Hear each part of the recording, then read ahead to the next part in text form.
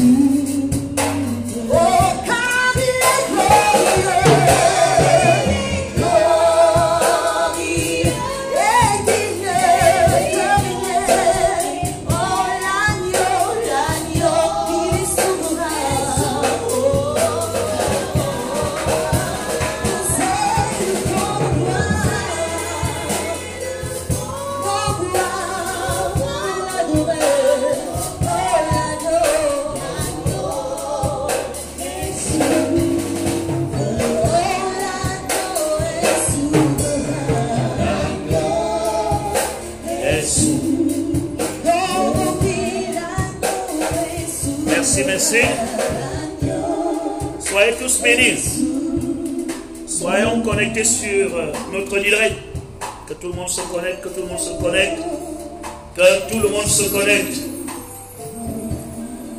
Vous partagez cette vidéo parce que je sais qu'elle sera une bénédiction pour quelqu'un. Merci pour ceux qui sont déjà connectés. Esther Rennes, sois bénie. Francine, sois bénie. Partagez déjà la vidéo, nous commençons notre message. Partagez ce message dans les groupes.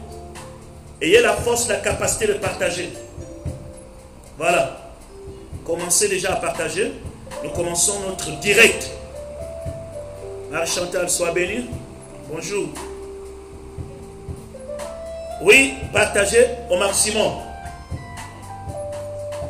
Alléluia, Alléluia, Alléluia. Notre Dieu est grand. Notre Dieu est grand, notre Dieu est grand. Partageons, Dieu va nous parler à travers sa parole. Gloire à notre Dieu. Ok.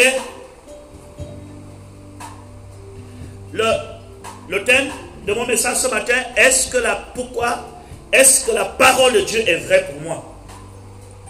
Est-ce que la parole de Dieu est vraie? Est-ce que la parole de Dieu est vraie Pour moi, nous allons prendre la Bible, multiplier la, les partages. Je bénis ceux qui sont là, je bénis, je vous bénis. Je vous bénis. Je vous bénis. Prenez la Bible.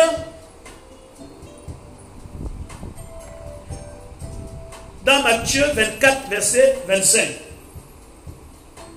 La Bible dans Matthieu 24, verset 25, d'abord. Matthieu 24, verset 25. Oui.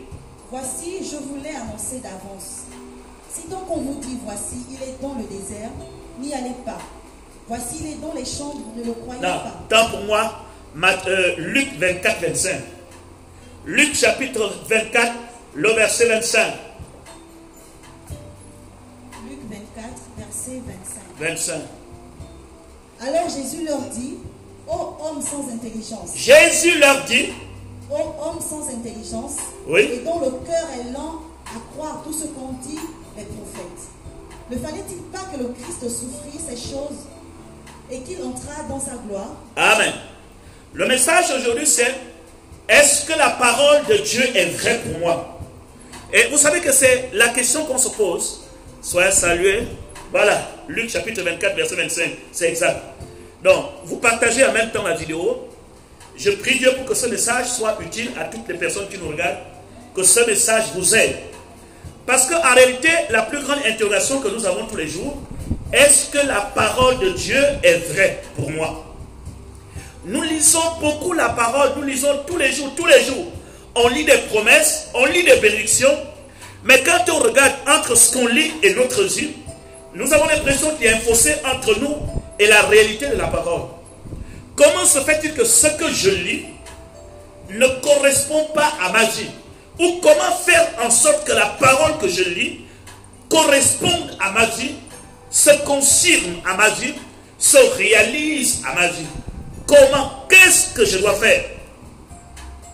Et aujourd'hui, il y a peu de chrétiens qui font confiance à la parole. Vous savez, Marc chapitre 11, à partir du verset 24, 25, dit que si quelqu'un dit à cette montagne, ôte-toi de là, va te jeter dans la mer, s'il ne doute point en son cœur, mais croit que ce qu'il lui arrive, il le verra s'accomplir. Notre souci, notre désir, c'est de voir la parole de Dieu se réaliser, s'accomplir telle que nous la lisons dans notre vie. Comprenez un certain moment, lorsque les Hébreux sont sortis de l'Égypte, quand ils ont marché dans le désert, à un certain moment, ils ont commencé à avoir des difficultés. Ils ont commencé à se poser la question dans la Bible. Ils ont commencé à se poser la question dans la Bible. Tout ce que nous avions appris, tout ce que nous avons entendu, ne devrais-je pas que le Christ souffrit avant qu'il n'entre dans la gloire? Non, il faut que le Christ souffre avant qu'il n'entre dans la gloire. Voyez-vous, tout ça c'est écrit dans la parole de Dieu. Et c'est ce qui est écrit. Amen. Ouvrez-le la porte. Permettez-les de rentrer, s'il vous plaît. Il faut qu'ils fassent leur, leur travail.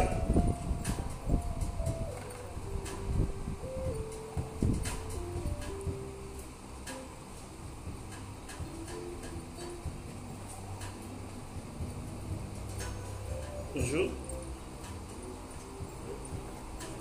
Nous faisons le Facebook, il n'y a pas de culte. Venez voir, nous sommes en direct. Regardez vous-même. C'est tous les jours qu'on fait comme ça, on attend. Ne vous en faites pas. Les autorités font leur travail, ce qui est tout à fait normal. Nous nous sommes dans notre direct. J'espère que le constat... Je peux continuer? Que Dieu vous bénisse. Voilà. Ne vous inquiétez pas, on était dans c'est un euh, petit constat, un contrôle. Voilà, nous continuons toujours notre direct. Et ce direct, euh, nous sommes sur la parole. Ne fallait-il pas que le Christ souffre avant qu'il n'entre dans la gloire? Est-ce que vous voyez un peu? Donc, nous devons chercher à comprendre, à connaître comment la parole de Dieu doit se réaliser dans notre vie. Comment pouvons-nous faire pour que la parole de Dieu soit une réalité dans notre vie? Parce que c'est ça le plus important. Soyez connectés et partagez la vidéo. Comment pouvons-nous faire pour que la parole de Dieu devienne une réalité dans notre vie? Comment pouvons-nous faire que la parole de Dieu se manifeste, sa puissance agisse dans notre vie? Amen, amen, amen. Alléluia. Et je crois qu'aujourd'hui, on doute un peu de ce qui est écrit. Parfois, on doute ce qui est écrit. Parfois, on n'a pas conscience. À un certain moment, on se dit que vraiment, est-ce que ce qui est écrit, c'est Dieu qui l'a inspiré? Est-ce que ce qui est écrit est exactement dans les Écritures? Donc, le cœur, parfois, est rempli de doute. Le cœur est rempli de beaucoup de méfiance. Amen. Maintenant, j'aimerais vous dire, lorsque Jésus est ressuscité et qu'il a commencé à marcher avec les disciples d'Emmaüs, et qu'après trois jours, les disciples d'Emmaüs ont vu Jésus crucifié, ils ont commencé à marcher, ils étaient plus sûrs de ce qui est écrit dans la parole. Ils ont commencé à dire, le Fils de l'homme est parti, il est mort avec tout ce qu'il a dit. Et tout à coup, Jésus apparut aux disciples d'Emmaüs. Et lorsqu'il est apparu aux disciples d'Emmaüs, il leur dit, ne fallait-il pas Il commence à les reprocher de, oh homme sans intelligence. Est-ce qu'il ne fallait-il pas que tout ce qui est écrit au sujet du Fils de l'homme se réalise? Amen. Donc, écoutez-moi attentivement. La vérité, c'est quoi? La vérité, c'est que la parole de Dieu est vraie. Mais ce n'est pas ce qui est écrit forcément. Ce n'est pas ce que tu lis. Ce n'est pas ce que tu lis forcément qui va s'accomplir quand tu le lis. Tu dois traverser certaines étapes spirituelles pour faire de cette parole une réalité et une vérité. Tu dois traverser certaines étapes pour faire de la parole que tu lis une réalité et une vérité. Maintenant, nous allons encore prendre un autre texte et voir comment la parole de Dieu peut devenir une réalité. Parce que le problème de nous les chrétiens aujourd'hui, on s'approprie de tous les versets lorsqu'on veut satisfaire notre désir. Et lorsqu'on s'approprie de tous les versets, nous aurons l'impression que tous les versets de la Bible s'accompliront dans ma vie. Écoutez-moi ce que je vais vous dire aujourd'hui. La Bible est la parole de Dieu, mais tout ce qui est écrit ne vous regarde pas forcément. Ou bien tout ce qui est écrit ne vous concerne pas directement. Ou bien tout ce qui est écrit dans la Bible ne va pas forcément s'accomplir dans votre vie. Le fait que ce qui est écrit ne s'accomplit pas dans votre vie ne met pas en doute l'authenticité, la véracité et la puissance de la parole. Ça veut tout simplement dire qu'il y a des choses que tu lis, que tu dois découvrir. Tu dois découvrir dans la Bible, dans le livre que je possède, quelles sont les choses qui me concernent et qui vont se réaliser. N'embrasse pas que tout ce qui est écrit, tout ce qui est écrit là, ça, me regarde. Et c'est ça la plus grave, la plus grande erreur. La résurrection de Jésus dit quoi? Est-ce qu'il ne fallait-il pas que le Christ souffrit En quelque sorte, ce qui était écrit à mon sujet devait se réaliser. Voyez-vous, ce n'est pas toutes les écritures que vous lisez dans la Bible qui concernent Jésus. Mais ce n'est que ce qui était écrit à son sujet qui devait se réaliser. Et nous, les chrétiens d'aujourd'hui, nous lisons plein de promesses et nous voulons, nous désirons que toutes ces promesses se réalisent. Nous lisons beaucoup de promesses et nous voulons que ces promesses se réalisent, ces promesses soient réelles au sujet de notre vie. Ce n'est pas forcément ça. Je vais vous montrer comment il faut faire. Lorsque vous méditez la parole de Dieu, prenez d'abord euh, Luc chapitre 4, le verset 17. On va lire. C'est là où se trouve le secret. Comment devez-vous faire? Luc chapitre 4, le verset 17. Écoutez la lecture. Et on lui remit le livre du prophète Esaïe. L'ayant déroulé, il trouva l'endroit où il était écrit. L'Esprit du Seigneur est sur moi parce qu'il m'a oint pour annoncer une bonne nouvelle aux pauvres. Il m'a envoyé pour guérir ceux qui ont le cœur brisé, pour proclamer aux captifs la délivrance et aux aveugles le recouvrement de la vue, pour envoyer libre les opprimés, pour publier une année de grâce du Seigneur. Ensuite, il roula le livre, le remit au serviteur et s'assit. Tous ceux qui se trouvaient dans la synagogue avaient les regards fixés sur lui. Alors il commença à leur dire, aujourd'hui, cette parole de l'écriture que vous venez d'entendre est accomplie. Amen. Amen. Maintenant, suivez.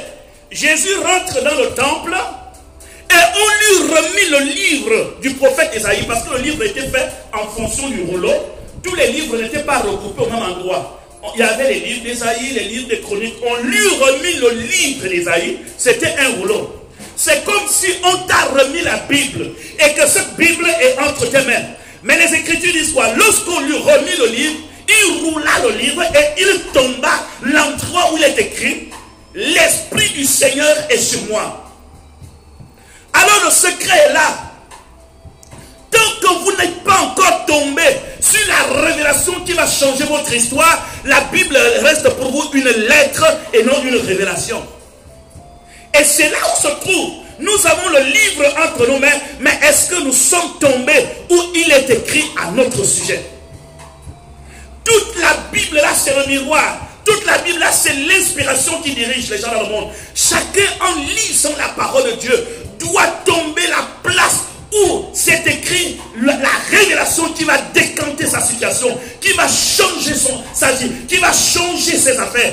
Tant que tu n'as pas encore trouvé la partie qui te concerne directement, et que toi tu t'appuies seulement sur les, euh, euh, les écrits qui ne te concernent pas directement, tu auras l'impression que la Bible n'est pas vraie. Non, ce n'est pas que la Bible n'est pas vraie. Il faut tomber la partie qui concerne ton sujet. Et qu'est-ce que Jésus fait? Il tomba sur un endroit d'Ésaïe chapitre 4, euh, Ésaïe 52. Dans l'Ancien Testament, l'Esprit du Seigneur est sur moi parce qu'il m'a en 61. Et Jésus leur dit, cette parole que vous venez d'entendre est accomplie. C'est-à-dire quoi? C'est la parole qui me concerne. C'est la parole qui s'adresse à moi. Et comme je suis déjà là, cette parole d'Esaïe là maintenant s'accomplit dans ma propre vie. Ainsi la parole d'Esaïe est confirmée par Jésus. Alors je vais te dire quelque chose. Il y a une partie dans la Bible qui te concerne. Tu dois confirmer ce qui est caché dans, dans la Bible. Il y a quelque chose qui est toujours caché pour le miracle de quelqu'un. Est-ce que quelqu'un peut dire Amen? Soyez bénis, soyez bénis. Il y a toujours, cherchez. La Bible est un trésor. Et dans ce trésor, à l'intérieur est caché le mystère de ton mariage. À l'intérieur est caché le mystère de ton ministère. À l'intérieur est caché le mystère de ta prospérité. À l'intérieur est caché le mystère de ta consécration. À l'intérieur est caché le mystère de ton voyage. À l'intérieur est caché le mystère de ton foyer. À l'intérieur est caché le mystère de l'élévation dans ton travail. Ce n'est pas tous les versets qui te concernent directement. Alors, je prie Dieu qu'à partir de ce mois, que tu tombes sur le verset qui concerne ton sujet. Alléluia. Et dès que tu tombes sur le verset qui concerne ton sujet, la parole de Dieu deviendra pour toi vraie. Alléluia. Voyez-vous, tous ceux qui ne sont jamais tombés, la partie qui les concerne auront toujours l'impression que ce qui est écrit dans la Bible n'est pas vrai. Oh, quand je sais qu'à travers la parole, Dieu a délivré les hommes. À travers la parole, Dieu a délivré les femmes. À travers des millions et des millions de personnes dans le monde, chacun a découvert la clé qui est cachée dans la parole pour la libération de sa vie. Et les gens louent le Seigneur aujourd'hui à cause de ce que Dieu a fait dans leur vie. Oh yes. Seigneur, merci. Oh Dieu, merci. Oh Dieu, merci, merci, merci, merci. Merci, merci, merci, merci. Pourquoi? Parce que, Dieu inspire chaque chrétien de ces derniers temps à découvrir ce qui est écrit à son sujet. Voyez-vous, vous embrasez des, des promesses parfois qui ne vous regardent pas directement.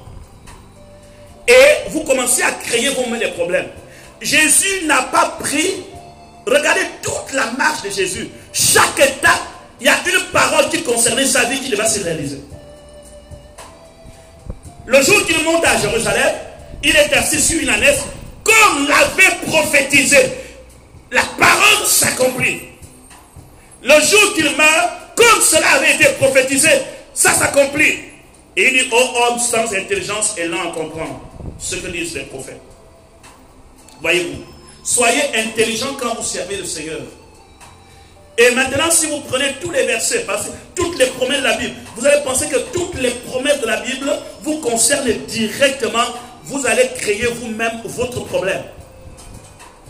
Vous me comprenez très bien.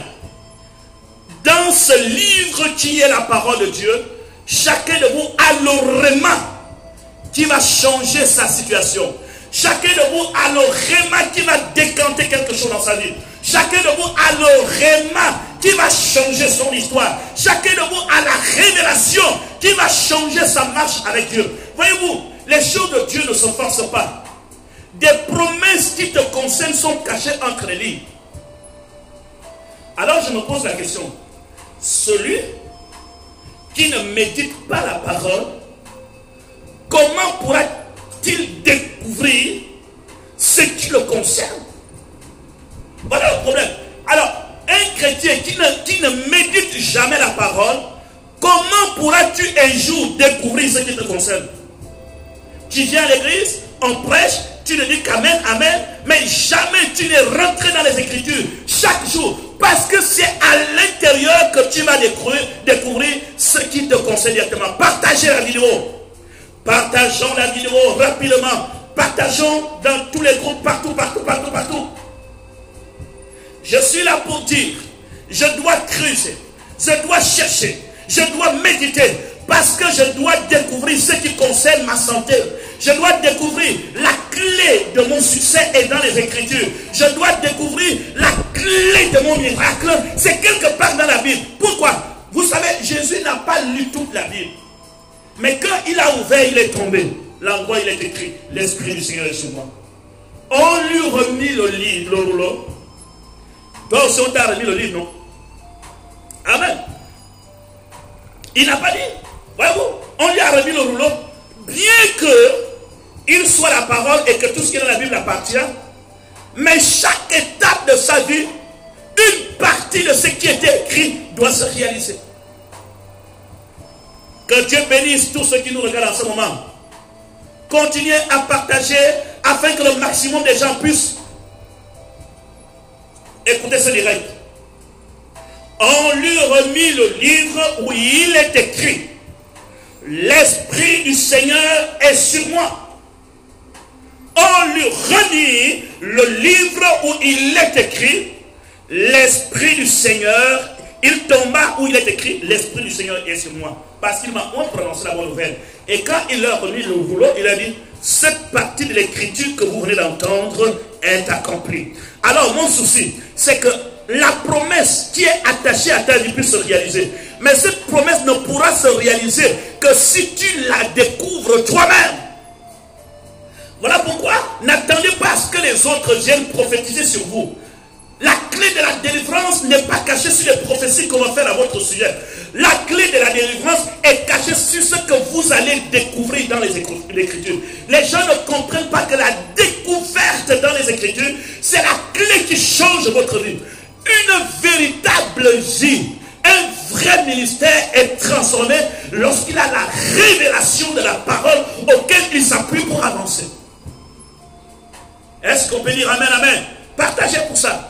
Toutes les personnes qui font de leur vie simplement parce qu'on est venu de la prophétie, votre vie est basée sur le ça. La prophétie ne rend pas un fondement solide. La prophétie édifie, exhorte et te console. Il te fortifie. Encore, vas-y, vas-y, vas-y. Mais on ne bâtit pas sur la prophétie. On ne bâtit pas sur la parole de connaissance. On bâtit sur la parole. On bâtit sur Dieu t'a dit, pas Dieu lui a dit de me dire. Non, non, non. On ne bâtit pas sur Dieu lui a dit de venir me dire. On bâtit sur Dieu m'a dit de faire.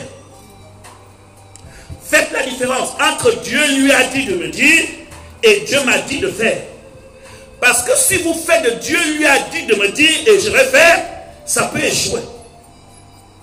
Mais Dieu m'a dit de dire ou Dieu m'a dit de faire, tu commences par le succès, tu finis par le succès.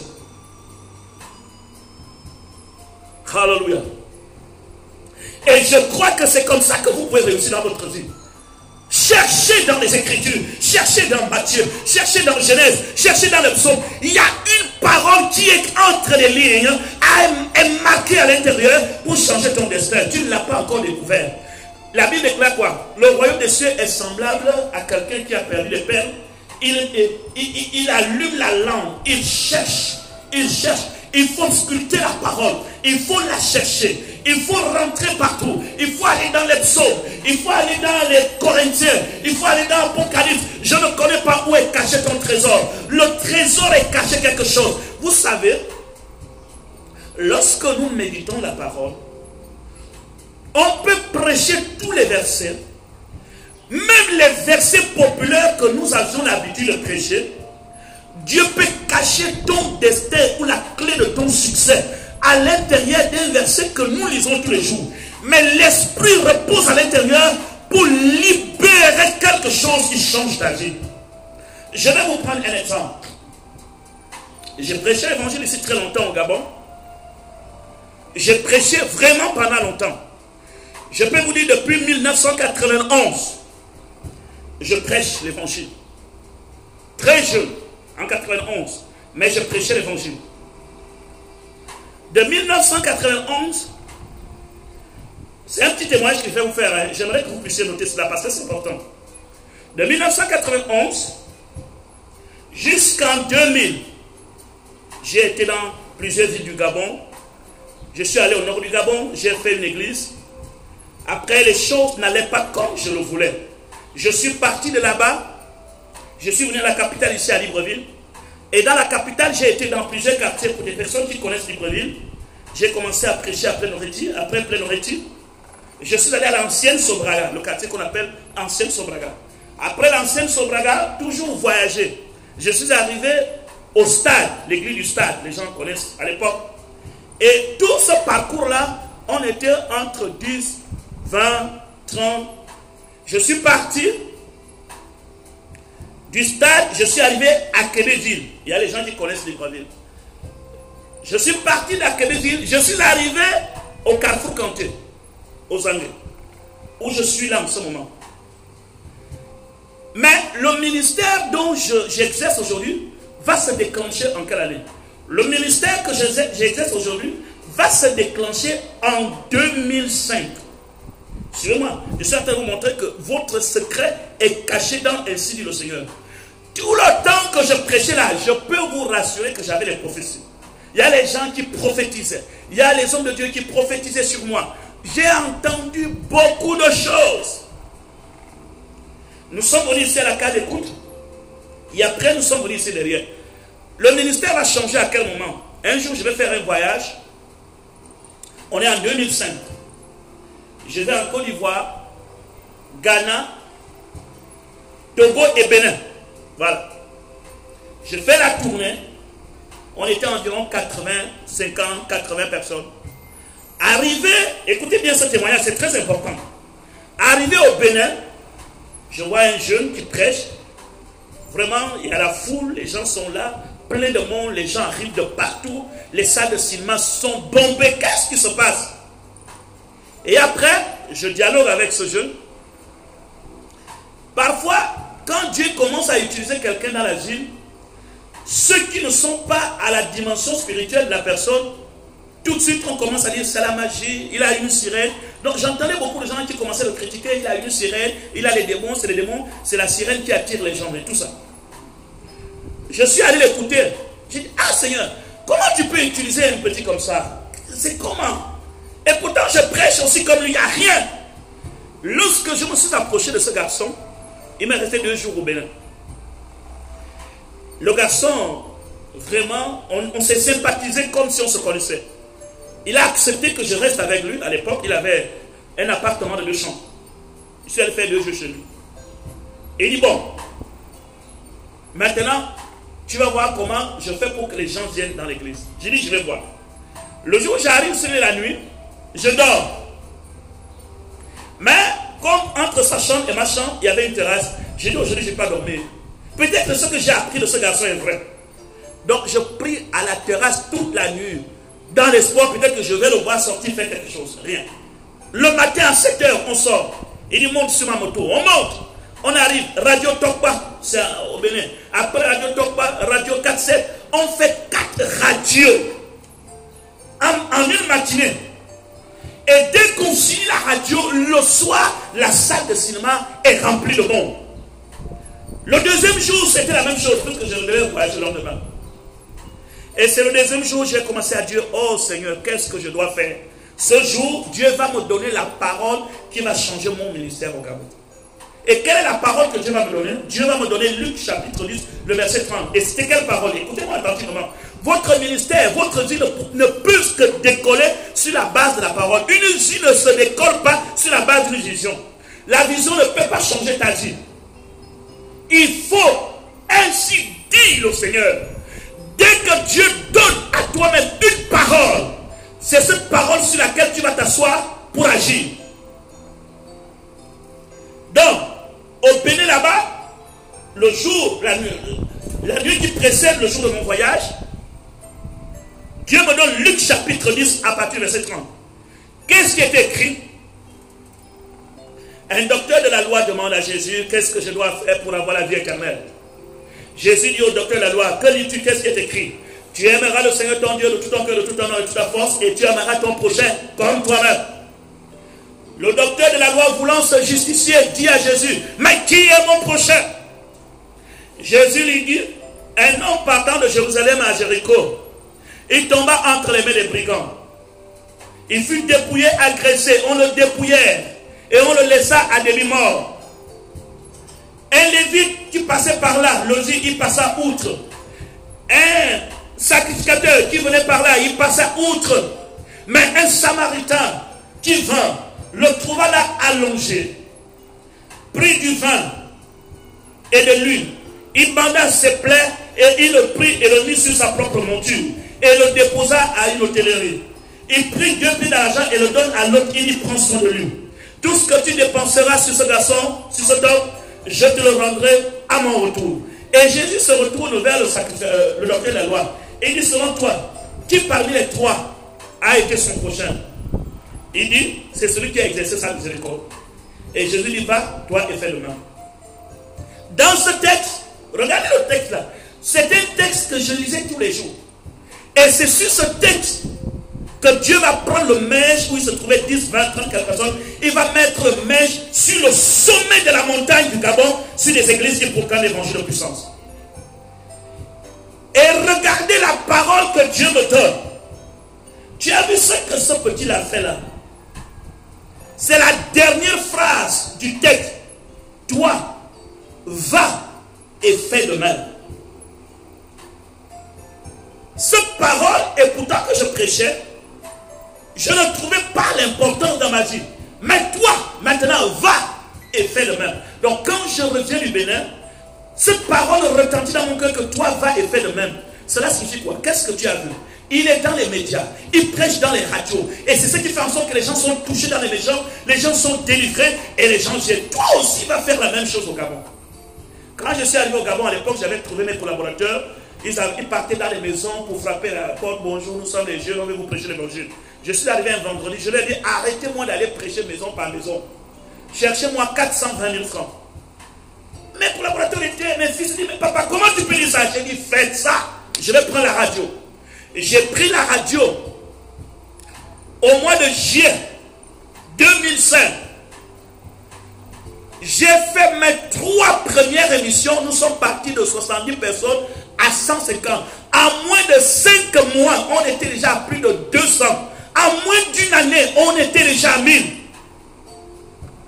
C'est ça, la parole. Lorsque vous avez l'appui, le fondement de la parole, la chose devient réelle. Donc c'est la parole que Dieu m'avait dit, toi, va et fais de même. Vous savez, si vous n'avez pas cette authenticité, si vous n'avez pas cet appui et que vous allez baser votre destin sur oui, j'ai dormi, j'ai vu un songe, j'ai vu un hibou qui traversait la maison avec un papillon, oh, j'ai vu un serpent qui passait. Non, non, toutes ces histoires-là n'ont rien à voir avec le fondement. Que Dieu vous donne le fondement de votre vie. Que Dieu vous donne le fond, que Dieu vous donne la parole sur laquelle tu t'assois. Dieu m'a dit, va et fais le même. Alors je suis venu faire, on a vu les résultats. Et pourtant, avant que je ne voyage, je voyais toujours les visions, je prêchais. Les visions te montrent ce que tu vas devenir. Mais la parole fait en sorte que tu deviennes ce que les visions te montrent. Si la parole ne t'accompagne pas dans tes visions, tu passeras ton temps à devenir grand que dans les visions. Et tu finiras ta vie que dans les visions. Mais si tu as un fondement de la parole de Dieu avec toi, ces visions que tu vois deviendront une réalité. La parole de Dieu doit toujours accompagner une vision. Et voilà pourquoi la parole de Dieu est vraie si tu découvres ce qui est écrit à ton sujet. Est-ce que mes amis sont avec moi? Est-ce que vous comprenez pour dire Amen? Voyez-vous? C'est partout comme ça, même quand vous priez pour les malades. N'avez-vous jamais prié pour beaucoup de gens qui sont malades? Vous dites que j'ai prié, j'ai prié, j'ai prié, mais sa situation n'a jamais changé. Je prie pour tel ou tel malade, mais sa situation n'a jamais changé. Je suis allé prier, papa, pourquoi les miracles? Même chaque personne qui est malade, il te faut la parole qu'il faut déclarer pour toucher un point bien précis. Il arrive parfois, je fais des séminaires, des programmes sur les guérisons et les délivrances, je prie pour les malades, et j'ai vu que même sur une même maladie, le Saint-Esprit t'oriente à prier différemment. Soyez bénis. Et je déclare à quelqu'un qui m'écoute en ce moment, plonge tes regards dans la parole. Dans très bientôt, tu vas rencontrer le verset et la parole qui va changer ton histoire. C'est la parole qui est écrite, qui chante ton histoire qu'il faut chercher. On ne lit pas la Bible en désordre. Il faut lire la Bible en connaissant de cause avec ta propre vie. Les gens veulent toujours qu'on vous explique. Chaque fois que tu lis la parole, comprends que tu lis un livre qui parle de toi. Un livre qui éclaircit ta vie. Un livre qui oriente ton destin. Donc chaque panneau que tu arrives, il y a toujours des orientations. Il y a toujours des orientations jusqu'à ce que tu vas croiser la clé. Le jour que tu croises cette clé, ton histoire change. Ton histoire change. Que Dieu bénisse mes amis. Partagez cette vidéo. Ton histoire change. Vous allez vous arrêter de vous lamenter. Ce n'est pas tout ce qui est écrit qui vous concerne. C'est ça le problème que je vous dis aujourd'hui. Ce n'est pas tout ce qui est écrit dans la Bible qui te concerne. Il y a des choses à l'intérieur qui te concernent directement, mais qui les connaissent, c'est le Saint-Esprit. C'est le Saint-Esprit qui est en toi qui les connaît. Voilà pourquoi lorsque tu es dans la présence de Dieu et que tu la Bible, oh Saint-Esprit, oriente cet homme, oriente cette femme à aller découvrir où se repose la clé de la délivrance de sa vie. La parole de Dieu est-elle vraie pour moi? Je dis oui, si je découvre ce qui est écrit à mon sujet. Maintenant que je ne découvre pas ce qui est écrit dans mon sujet, je vais passer mon temps à douter. Est-ce que c'est vrai? Est-ce que ça me regarde? Est-ce que ça me concerne? Est-ce que c'est pour moi? Est-ce que c'est à moi? Pourquoi c'est caché?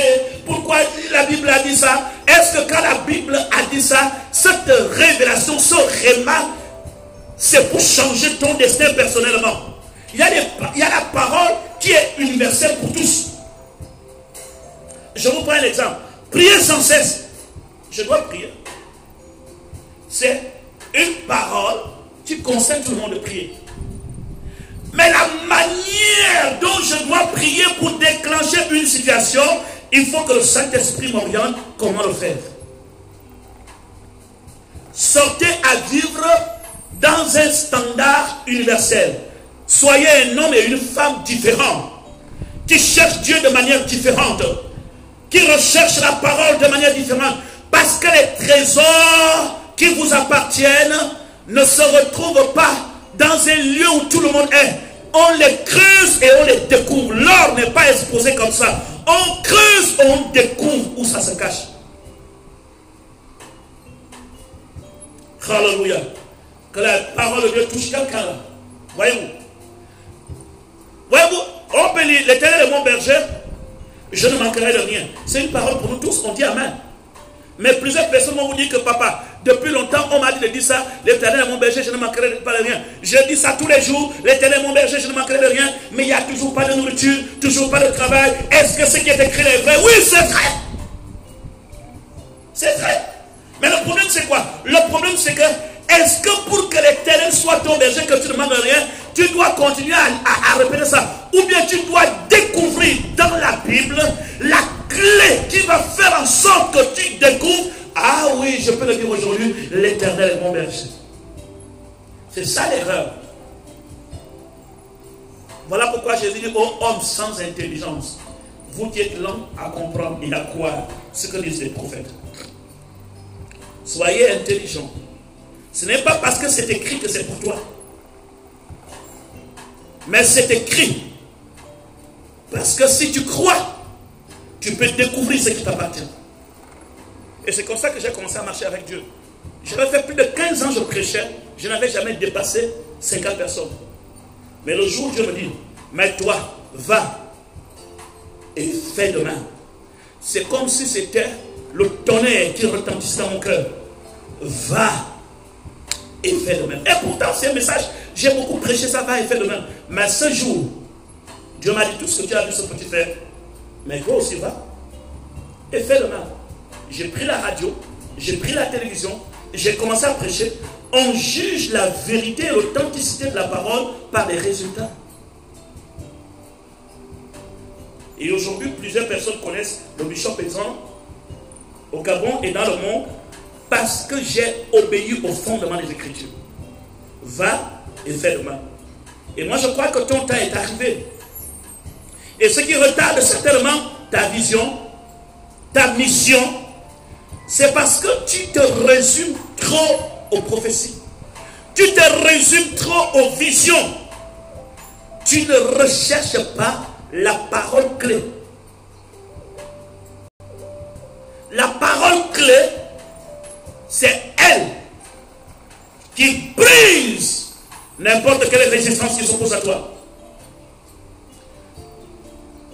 Soyez tous bénis, soyez tous bénis. Que les chrétiens comprennent. On ne sert pas Dieu parce que l'autre sert. Vous pouvez même rencontrer un homme de Dieu. Un homme de Dieu peut prier pour vous. Vous communiquez l'onction. Ça, je ne doute pas, ça existe. Mais il y a une onction permanente. Mais il y a une, onction temporaire. L'onction temporaire, quelqu'un peut te communiquer. Lorsque Jésus priait pour les disciples, il les envoyait pour chasser les démons. Ça là, c'était une onction temporaire. Cette onction ne leur qualifiait pas de s'asseoir sur un ministère solide. Mais le jour de la Pentecôte, qu'est-ce qu'il leur dit? Ne vous éloignez pas de Jérusalem, mais vous devez attendre. Mais la parole de Dieu disait quoi? Il persévérait dans la prière. Marie était là. Jusqu'à ce que le ciel s'ouvre. Ils ne se sont pas contentés de Luc chapitre 10 où c'est écrit Jésus leur donne la force, la puissance pour chasser les démons. C'était temporaire. Quelqu'un peut prier pour toi et te communiquer la grâce, la force. C'est une grâce temporaire. Mais cette grâce ne va pas te conduire dans ton pèlerinage sur la terre. Il faut que toi-même tu croises la parole qui dévore tes entrailles spirituelles. Et tu vas te dire, je me lève et je me tiens sur le rocher. Ainsi par l'éternel, j'agis. Parce que ce que Dieu te communique directement doit t'amener dans l'action. Par contre, ce que Dieu te communique à travers les autres doit t'amener dans la réflexion. Tu dois examiner pour se rassurer que ce qu'on est venu te dire est vrai. Mais ce qui a frappé ton cœur, Hi, my God, saisis cela comme dit le Seigneur. Et je parle à toutes les personnes qui me regardent. C'est fini le temps des illusions dans ta vie. C'est fini le temps de la confusion. Je brise et je détruis n'importe quelle confusion dans l'histoire de ta vie.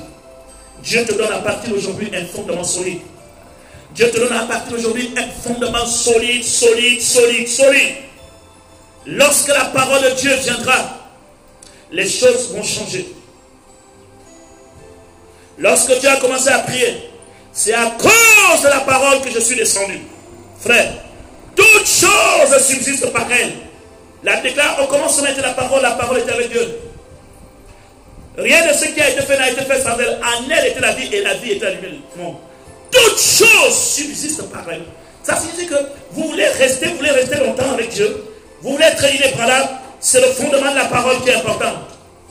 Je n'écarte pas les visions. Les visions peuvent venir au moment de faiblesse, ça nous aide. Les visions nous aident à voir de loin ce que nous allons devenir. Mais c'est la parole qui nous accompagne. C'est comme quelqu'un m'a parlé hier, je suis un monsieur que j'apprécie beaucoup. On parlait du leadership et du manager. Il me disait, un leader est différent d'un manager. Il disait, le leader, le leadership te donne les idées et il y va. Le manager t'accompagne dans ce que tu fais. Voyez-vous, la vision peut te montrer ce que tu vas devenir. Les songes peuvent te montrer les choses qui se passent. Les songes peuvent te montrer ce que Dieu attend de toi. Mais les songes ne t'accompagnent pas. Ce n'est pas les songes qui t'accompagnent.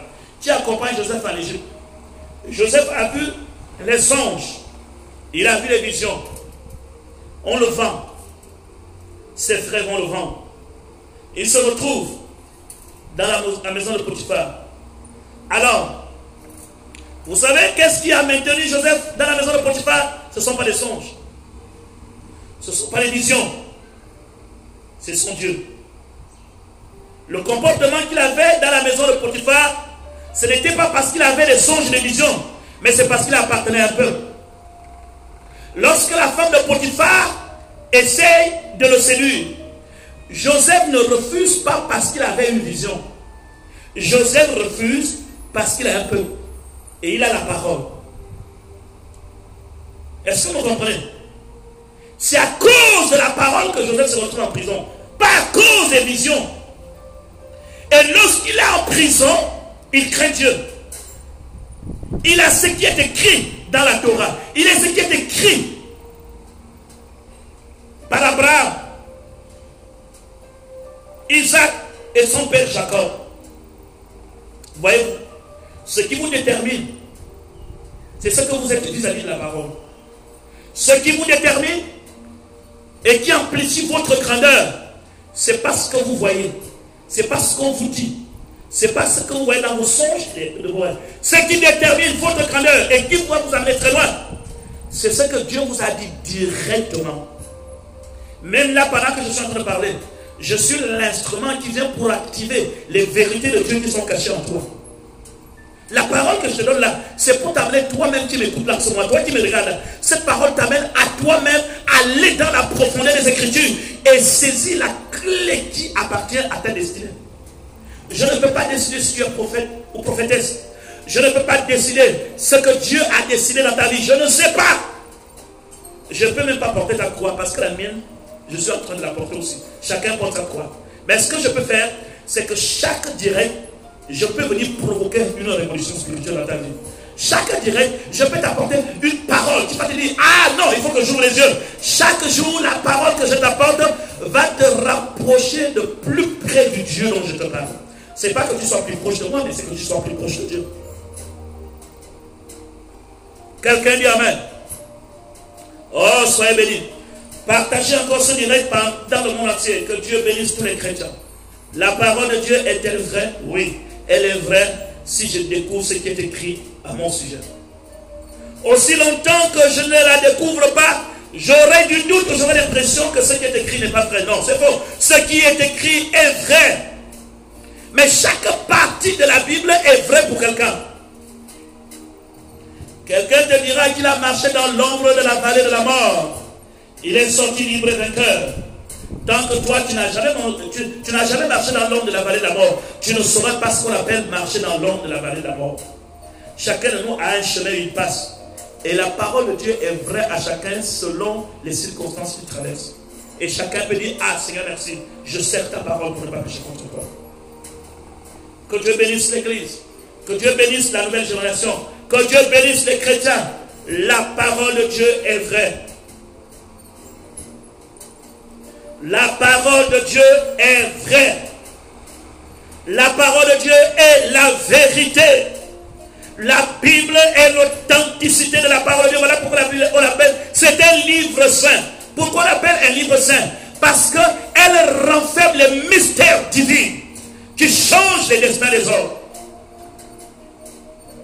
Oh yes. Soyez bénis. Soyez tous bénis. Que Dieu bénisse quelqu'un. Gloire à notre Dieu. Je prie que Dieu change ton destin. Je prie que Dieu visite maintenant plusieurs personnes. Soyez grands et soyez matures. N'acceptez pas que le diable vous trompe. Écoutez, Jésus dit, oh, oh, vous sans intelligence. Voyez-vous, notre problème est là. Oh, homme sans intelligence. Il y a l'intelligence du Saint-Esprit. Dans tout ce que vous faites avec Dieu, ne soyez pas seulement les hommes qui prient, mais soyez aussi les hommes qui ont l'intelligence du Saint-Esprit. Ça manque dans beaucoup de chrétiens aujourd'hui. Il y a l'intelligence du Saint-Esprit. Il y a la prière. Il y a la consécration. Il y a la sanctification. Et il y a l'intelligence du Saint-Esprit. Oh homme sans intelligence. Sans intelligence. Voyez-vous, que le Saint-Esprit te donne de l'intelligence afin de comprendre, de comprendre, de comprendre et de comprendre encore. Seigneur, montre-moi encore, par rapport à telle ou telle situation, la parole qui va débloquer la situation. On appelle ça réma. Révélation. Que dites-vous que je suis moi le fils de l'homme Les uns disent ceci, les autres disent. Pierre dit, tu es le Christ, le Messie, le Fils de Dieu. Il dit, ah Ce n'est pas la chair et le sang qui te l'ont révélé, mais mon Père, tu y es Pierre. C'est-à-dire, tu t'appelles Pierre.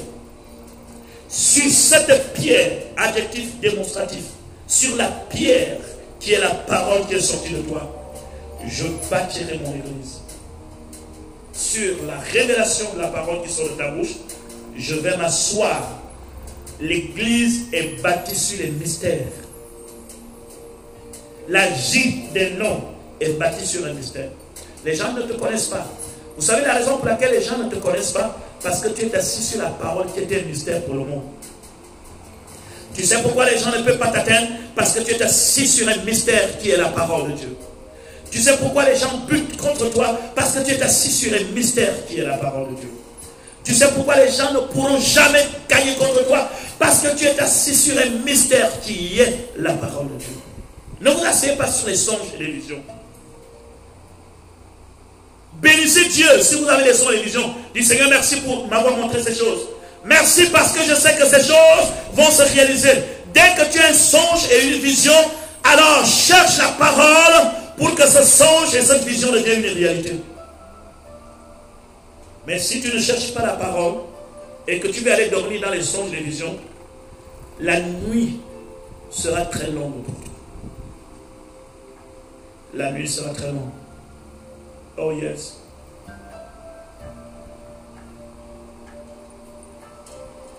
Merci notre Dieu. Partagez ce, live. Que Dieu vous bénisse. Au début de notre live, nous avons été assistés par euh, les autorités qui sont rentrées dans la salle pour se rassurer qu'il n'y avait pas culte aujourd'hui. C'est dans ce climat que nous continuons à vivre jusqu'à ce que Dieu lui-même décidera quand est-ce les églises vont s'ouvrir. Je demande à toutes les personnes dans le monde entier de continuer à prier pour l'église au Gabon. C'est important. Ce que nous avions lu dans la Bible devient une réalité pour notre pays. Continuez à prier pour l'église, continuez à prier pour le Gabon.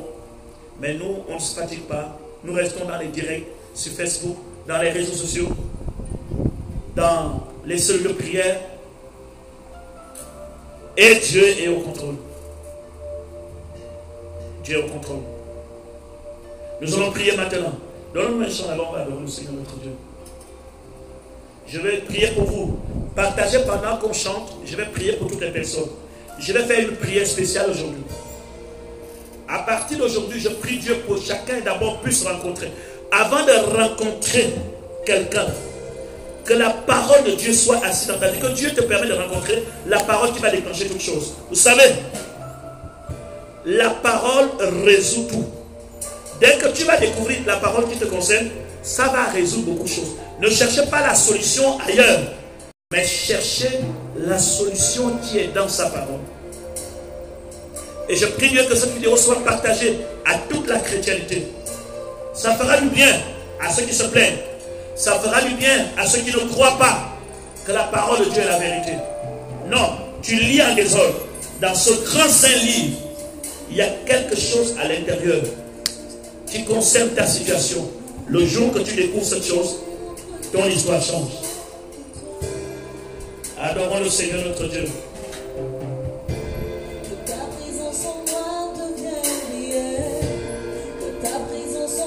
Que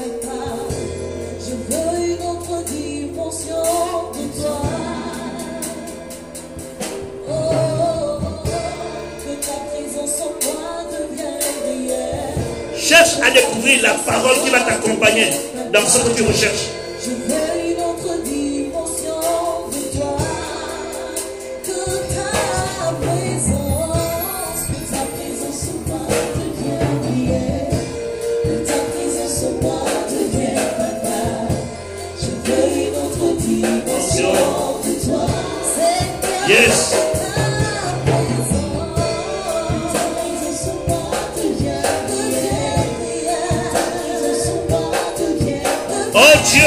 Manifeste ta puissance sur toutes les personnes qui sont connectées. Croisez la parole de votre destin.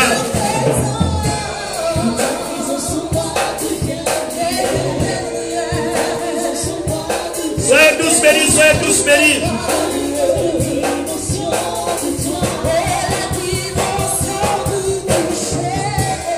Dimension. Oh yes. Shakala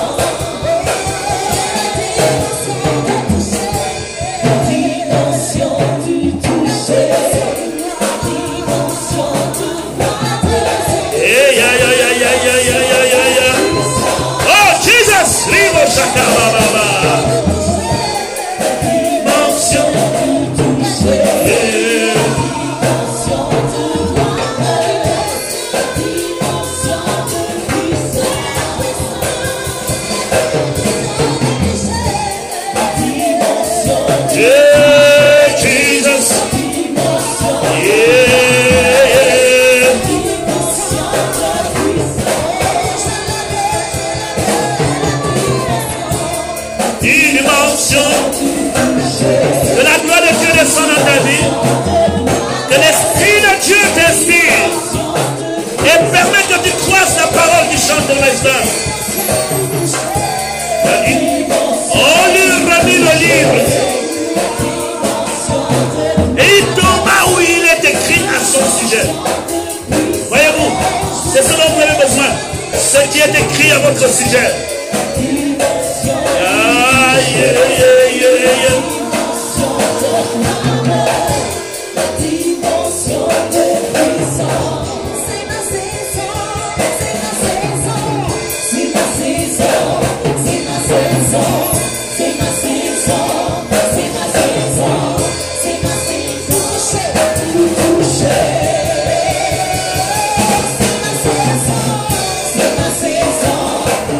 says on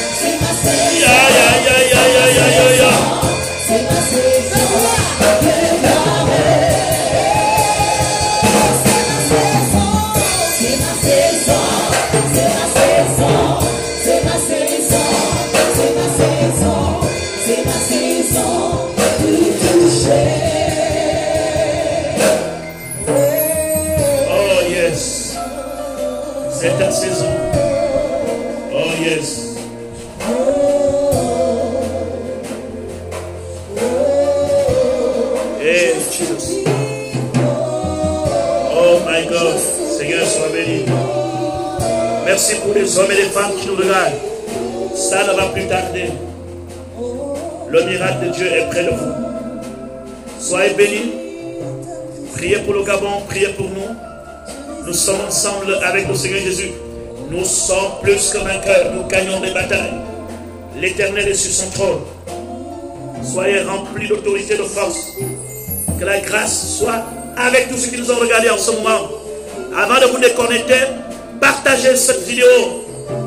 Permettez à ce que cette vidéo soit suivie partout, partout, dans le monde entier, dans l'église, pour que celui qui voulait se décourager, qui mettait doute à la parole, comprenne qu'il ne doit pas douter et doit chercher ce qui est écrit à son sujet.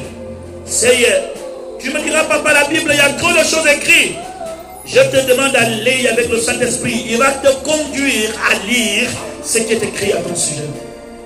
Et saisis ce moment. Mettez le cœur. Partagez. Mettez le cœur. Grand bisou à vous tous. Que Dieu vous bénisse. Partagez, partagez. God bless you. Thank you very much.